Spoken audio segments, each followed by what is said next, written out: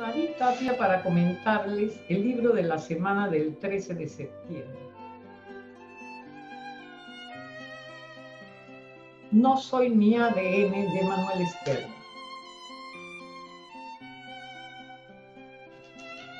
El origen de las enfermedades y cómo prevenirlas. Ustedes se preguntarán, ¿por qué la escritora se ha interesado en este tema? Hace unos meses me hice un examen de ADN y también incluí mis riesgos genéticos. Y entonces me he puesto a estudiar y me pareció este libro de lo más interesante.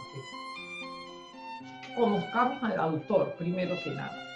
Manuel Estel es el director del Instituto de Investigación contra la Leucemia, Joseph Carrera, investigador de INCREA, catedrático de genética de la Universidad de Barcelona, científico español,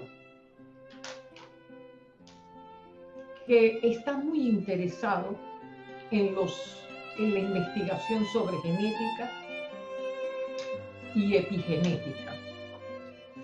En este libro, él explica los fundamentos de la epigenética rama de la genética que estudia cómo influye el entorno en la activación o no de nuestros riesgos genéticos. La genética marca desde el color del cabello hasta las enfermedades, pero esto no es inalterable. Que un gen se manifieste o no depende de la epigenética y en ella influye el estilo de vida. Nuestro epigenoma es la suma de todos estos procesos químicos que se activan o desactivan, los genes. Es nuestra marca epigenética. ¿Puedo heredar las enfermedades de mi antepasado? Nos hemos hecho esa pregunta miles de veces. ¿Es posible que mi descendencia herede las mías? Hasta qué punto una disciplina como la epigenética puede tener repercusión en la prevención y tratamiento de enfermedades como el cáncer, el Parkinson o el Alzheimer. Y sobre todo, ¿qué es la epigenética? Steller expone las claves para comprender la base de estas disciplinas científicas y ofrece un panorama de posibilidades que generan su estudio.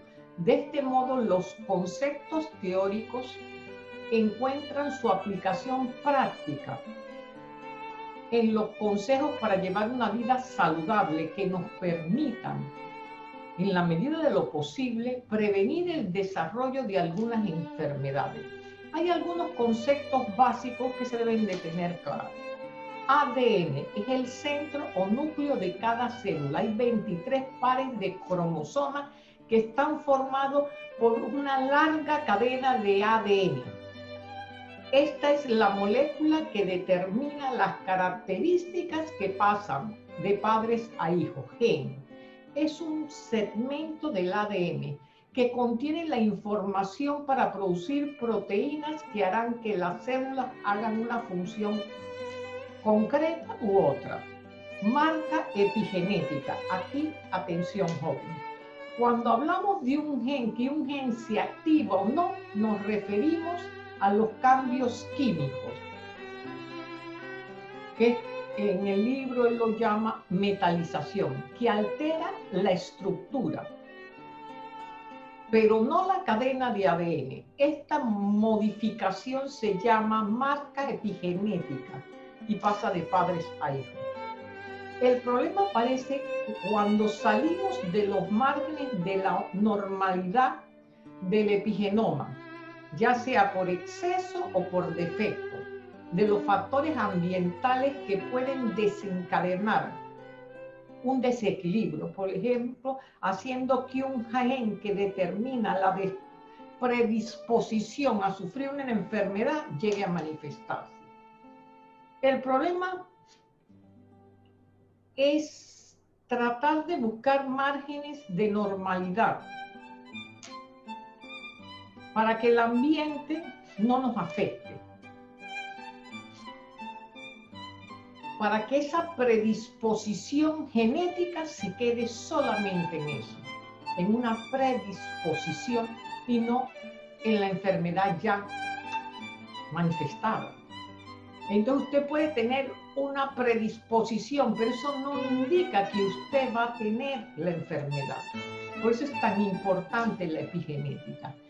Esta recomendación la voy a hacer yo para los jóvenes que van a estudiar ciencia, los médicos, los laboratoristas, las enfermeras y para todo aquel que tenga interés en la ciencia. Esta es la recomendación y jóvenes, no, recuerden, leer incansablemente, como si la vida y el éxito dependieran de eso, porque dependen. Y si no tienes nada que hacer en la calle, quédate en casa. Cuida a tus ancianos, cuida a los adultos mayores, que son los más vulnerables para la enfermedad del COVID. Salgamos de esta pandemia fortalecidos en el amor a nuestra familia. Saludos y un abrazo.